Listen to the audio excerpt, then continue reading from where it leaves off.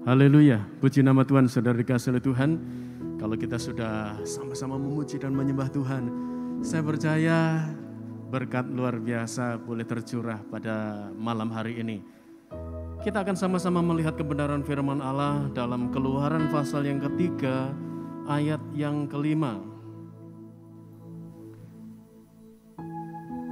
Saya bacakan, lalu ia berfirman, Janganlah datang dekat-dekat, tanggalkanlah kasutmu dari kakimu, sebab tempat di mana engkau berdiri itu adalah tanah yang kudus. Saudara, ini satu peristiwa yang terjadi saat Musa berada di Gunung Horeb.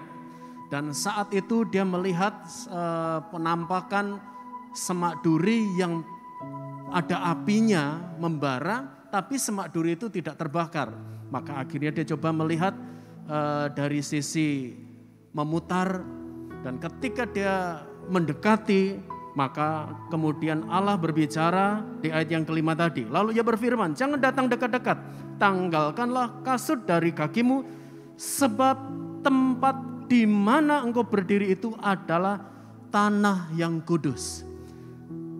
Dari ayat ini, saudara kita bisa tahu ternyata begitu pentingnya kekudusan di hadapan Allah. Allah sangat menginginkan kekudusan ada dalam diri Musa, kekudusan ada dalam hidup saudara dan saya, khususnya bagi generasi muda G-Fire. Remaja dan pemuda yang ada, Allah sangat menginginkan kita hidup kudus. Ya. Dan hari ini, sesuai dengan ayat ini, saya ingin kita sama-sama membahas tema mengenai apa alasan kita harus hidup kudus. Ya. Alasannya apa? Kita harus hidup kudus. Jelas-jelas Tadi Tuhan berkata, Musa tanggalkan kasutmu. Ya. Sebab tanah di mana engkau berdiri itu kudus. Nah, kita akan sama-sama melihat alasan yang pertama saudara. Dalam 1 Petrus 2 ayat yang ke-11 sampai ayat yang ke-12. Saudara-saudaraku yang kekasih, aku menasihati kamu supaya sebagai pendatang dan perantau kamu menjauhkan diri dari keinginan-keinginan daging yang berjuang melawan jiwa. Kita ini pendatang dan perantau di bumi ini. Ya, nanti saatnya kita akan kembali ke tanah air kita. Di mana saudara? Sorga. Ya. Nah, di suratan Petrus ini, Petrus menghimbau supaya sebagai pendatang kita menjauhkan diri dari keinginan-keinginan daging yang berjuang melawan jiwa. Jadi keinginan daging ini berjuang melawan jiwa, melawan roh. Keinginan-keinginan daging berjuang untuk melawan keinginan-keinginan roh. Ya. Kemudian ayat 12, milikilah cara hidup yang baik di tengah-tengah bangsa-bangsa bukan Yahudi. Supaya apabila mereka memfitnah kamu sebagai orang durjana, mereka dapat melihatnya dari perbuatan-perbuatanmu yang baik dan memuliakan Allah pada hari ia melawat mereka. Nah, Petrus mengajak umat Tuhan yang berada di perantauan supaya mereka memiliki gaya hidup, cara hidup yang baik. Ya. Ini penting saudara. Bukan soal cara mati. Cara mati itu orang bervariasi. Ada yang mati karena kecelakaan, ada yang mati karena penyakit, sakit penyakit, ada yang mati uh, karena kekenyangan, ada mati karena berbagai macam peristiwa, ya mati dalam kandungan, ya belum sempat dilahirkan dan sebagainya. Ada banyak cara untuk orang mengalami apa yang namanya kematian. Tetapi yang penting adalah bagaimana kita memiliki cara hidup pada waktu kita diberi kesempatan menjadi perantau di bumi ini, kita harus memiliki dan menjaga cara hidup yang sesuai dengan uh, kehendak Tuhan di tengah-tengah bangsa yang bukan mengenal Allah, yang belum mengenal Allah. Ya, makanya dikatakan supaya apabila mereka memfitnah kamu sebagai orang durjana, sebagai orang jahat, sebagai orang yang suka berbuat salah, orang oh dia ini kelakuannya tidak baik. Kalau ada orang yang berkata itu kepadamu, maka dikatakan mereka dapat melihat dari perbuatan-perbuatanmu yang baik Mereka bisa melihat perbuatan-perbuatanmu secara keseharian. Keseharian kamu enggak gitu. Dia enggak gitu. Yang kau tuduhkan salah. Ya jadi e, cara hidup yang baik di tengah-tengah bangsa yang tidak mengenal Allah itu merupakan himbauan Petrus kepada umat Allah di perantauan, kepada kita sekalian, kepada saudara dan saya sebagai anak-anak Tuhan, supaya kita memiliki cara hidup yang baik. Dan ketika orang memfitnah tentang oh dia kelakuannya seperti ini, itu akan terbantahkan. Karena apa? Karena kita tidak melakukan itu. Dikatakan mereka dapat melihatnya dari perbuatan-perbuatanmu yang baik dan memuliakan Allah pada hari yang melawat mereka. Jadi pada hari Allah melawat itu berbicara tentang pada waktu nanti kedatangan Tuhan yang kedua kali semuanya akan terbuka saudara. Nah jadi dari ayat ini yang pertama alasan mengapa kita harus hidup kudus itu supaya kekudusan itu membawa diri kita berada di tempat yang aman. Ketika ada orang yang menyalahkan, memfitnah, karena kita hidup kudus, maka kekudusan yang kita pelihara melalui cara hidup kita, ya, itu membuat kita akhirnya terproteksi, terlindungi karena kita setiap saat, setiap waktu memiliki cara hidup yang kudus. Ya. Kemudian yang kedua, yang kedua, Injil itu dan berita Injil akan jadi lebih menarik. Menariknya bagaimana saudara? Di dalam Titus pasal 2 ayat yang ke-10. Jangan curang, tetapi hendaklah selalu tulus dan setia, supaya dengan demikian mereka dalam segala hal memuliakan ajaran Allah, Juru Selamat kita. Saudara, berita Injil menjadi lebih menarik. Coba ada yang lebih jelas lagi, saya ingin hubungkan di 1 Petrus 1 ayat yang ke-14 hiduplah sebagai anak-anak yang taat. Ya. Kekudusan membawa hidup kita kepada ketaatan. Tuhan berkata, aku akan memberikan roh yang baru. Hati yang baru, hati yang taat. Jadi kekudusan selalu berhubungan dengan ketaatan. Hiduplah sebagai anak-anak yang taat dan jangan turuti hawa nafsu yang menguasai kamu pada waktu kebodohanmu kita harus perhatikan ada waktu kebodohan, tapi waktu kebodohan itu jangan beri tempat. Oh, saya kilaf. Ya padahal tahu bahwa dia dengan sadar melakukan kesalahan itu, melakukan dosa itu. Ya, itu masa kebodohan, waktu kebodohan. Makanya dikatakan jangan turuti hawa nafsu. Tetapi hiduplah sebagai anak-anak yang taat. Lalu hubungannya apa? Injil dan berita Injil itu menjadi menarik. Menariknya kan Injil berbicara tentang berita kabar baik, berita firman Allah. Jadi kalau anak Tuhan itu ketaatannya terbentuk melalui pekerjaan Injil, pekerjaan firman, maka orang jadi tertarik. Loh, dia dulu begini loh. Kok sekarang berubah ya? Dia ini dulu suka ribut, suka berantem dengan orang. Nggak pernah mau ngalah sekarang kok baik ya? Dia dilukai, dia tetap membalas dengan kebaikan. Bahkan saya bisa lihat dia selalu membalas kejahatan dengan kebaikan. Padahal dulu orang salah ngomong sedikit aja dia tidak terima. Ya. Kenapa dia bisa begitu? Maka akhirnya orang tahu firman Allah sudah mengubah hidupnya.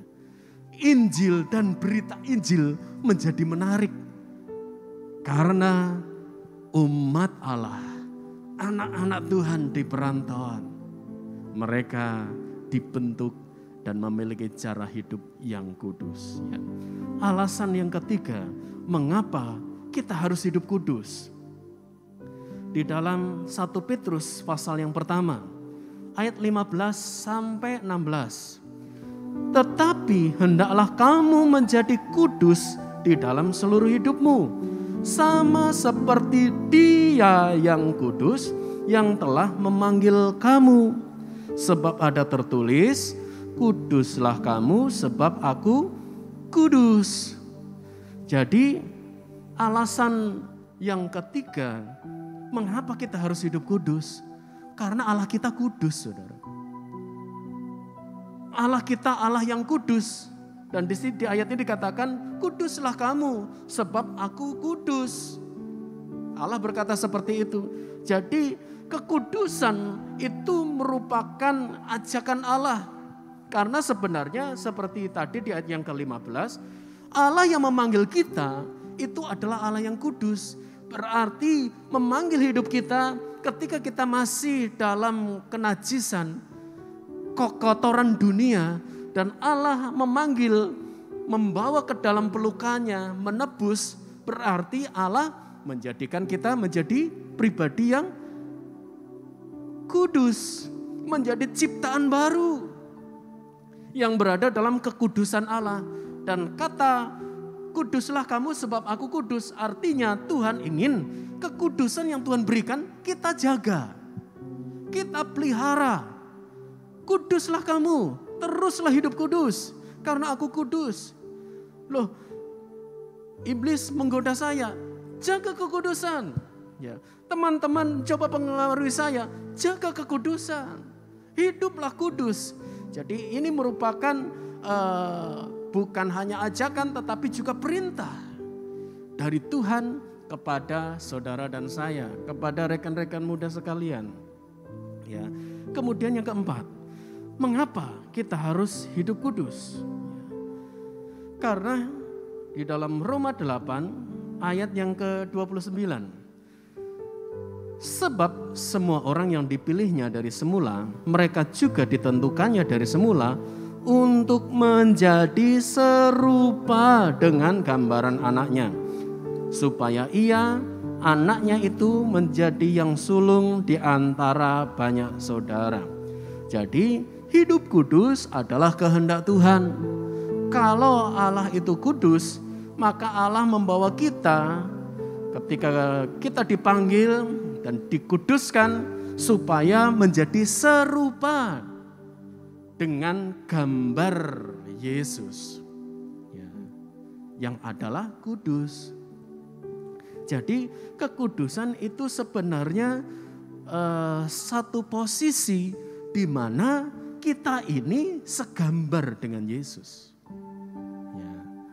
Berarti kalau orang hidup dalam kenajisan, orang selalu melakukan hal-hal yang berdosa, orang tidak melakukan kehendak Tuhan, kehendak Bapa, berarti tidak serupa dan segambar dengan Allah. Karena Allah kudus. Makanya dikatakan kekudusan atau hidup kudus itu merupakan kehendak Allah bagi kita. Khususnya rekan-rekan muda Cifair. Yang keenam, ya Alasan mengapa kita harus hidup kudus?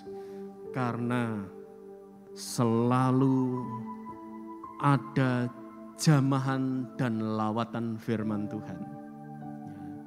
Firman Tuhan selalu diperdengarkan. Firman Allah selalu berbicara.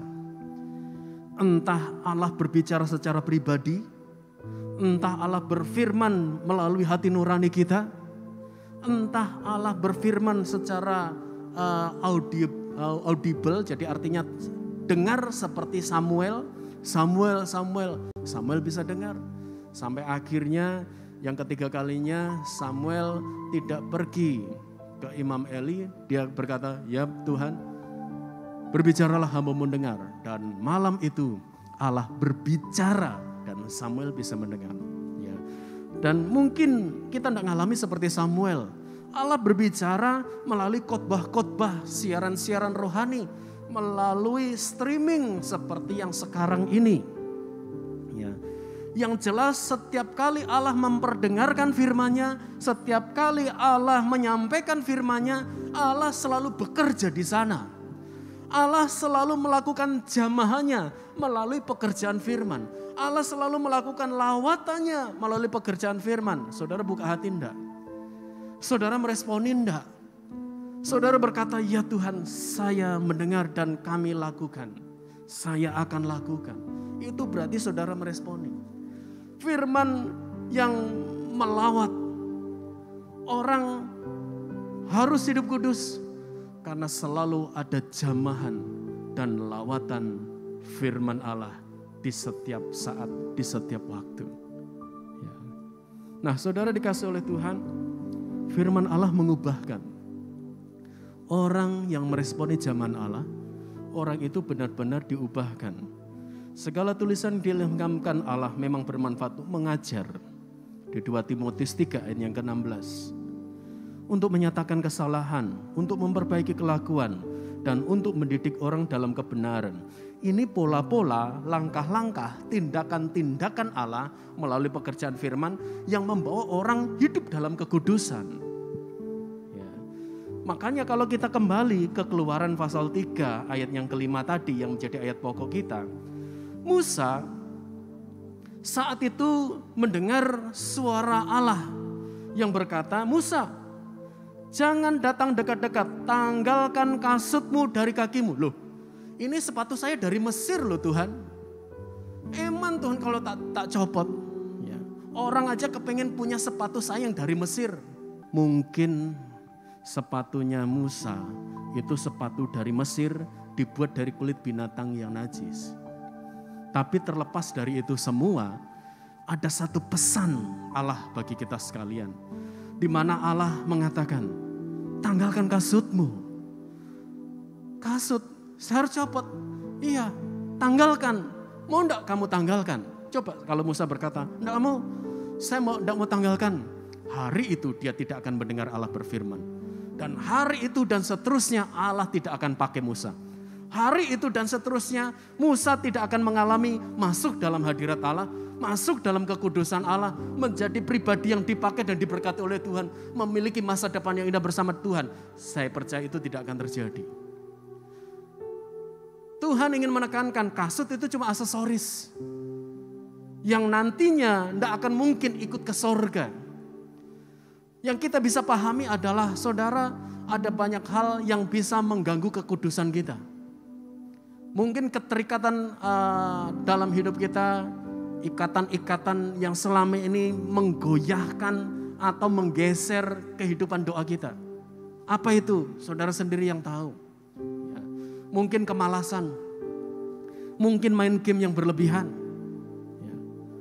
Ya. Sehingga waktu saudara untuk berdoa, waktu saudara untuk membaca Alkitab itu tergeser bahkan semakin dipersempit ataupun saudara sudah tinggalkan. Ataupun juga hobi-hobi yang saudara salurkan dan mungkin ada ada hal-hal yang lain yang sebenarnya itu aksesoris ibarat seperti kasutnya Musa. Mungkin kasutnya bagus. Itu kasut atau sandal uh, kualitas ekspor zaman itu. Tapi Tuhan katakan itu aksesoris. Lepaskan, kalau kamu tidak lepaskan, kamu tidak akan mengalami kekudusan. Demikian juga dengan kehidupan kita saudara. Ada hal-hal yang mungkin membuat kita senang. Tapi Tuhan bilang, tanggalkan itu. Karena kalau kamu tidak tanggalkan, kamu tidak akan mengalami kekudusan Allah. Ya. Ibrani sendiri catat, tanpa kekudusan kita tidak akan pernah melihat Allah. Lah repot saudara. Orang berpikir tidak apa-apa, di dunia saya tidak melihat Allah, yang penting nanti saya masuk surga, kan saya bisa melihat Allah. Iya kalau masuk surga. Orang di dunia aja kita tidak bisa lihat Allah. Artinya kita tidak bisa mengalami perjumpaan dengan Allah. Kita berdoa tidak mengalami perjumpaan dengan Allah. Kita beribadah tidak mengalami perjumpaan dengan Allah. Karena apa? Tubuhnya di gereja. Tetapi hatinya sudah jauh dari Allah.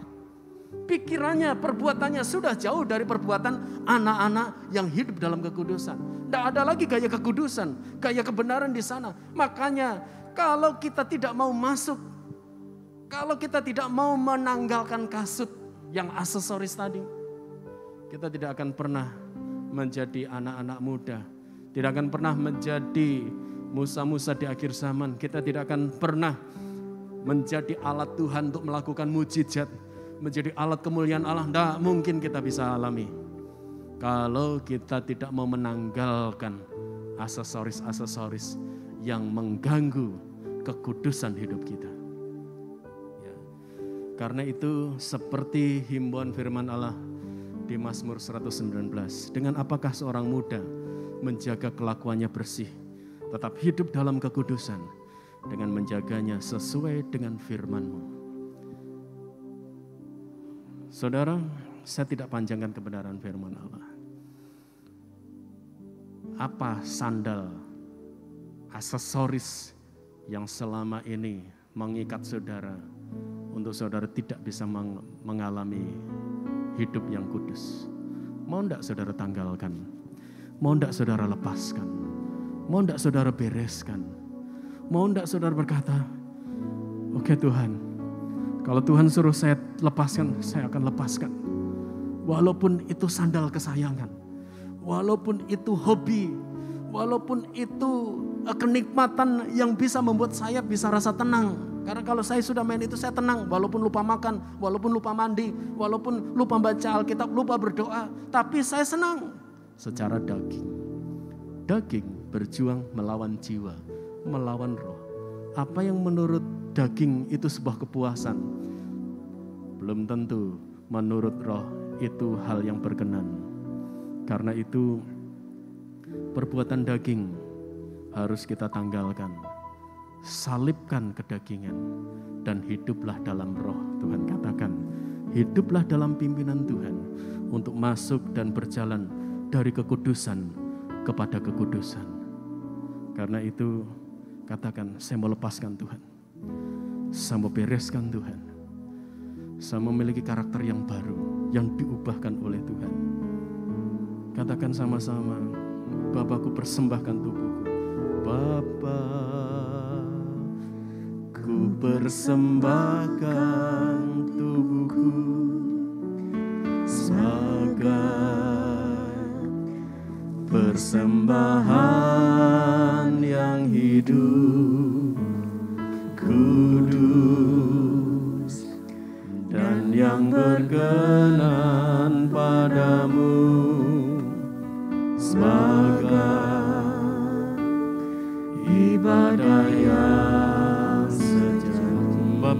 persembahkan tubuhku Bapa ku persembahkan tubuhku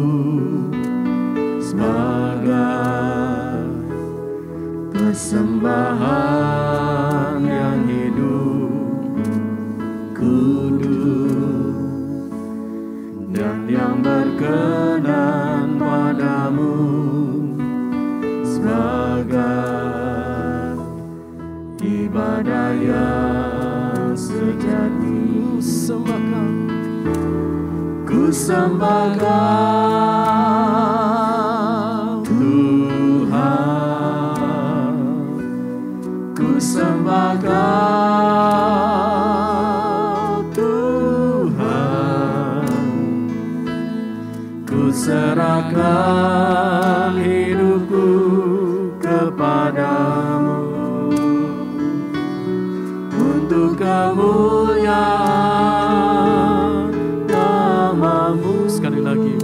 persembahkan tubuhku Bapa ku persembahkan tubuhku. Angkat pujian ini. Sebagai kerinduan dalam hidup kita saya harus hidup kudus. Saya harus hidup dalam kekudusan. Saya harus mempertahankan dan menjaga ibadah yang sejati. Ku sembahkan ku sembahkan Tuhan. Ku sembahkan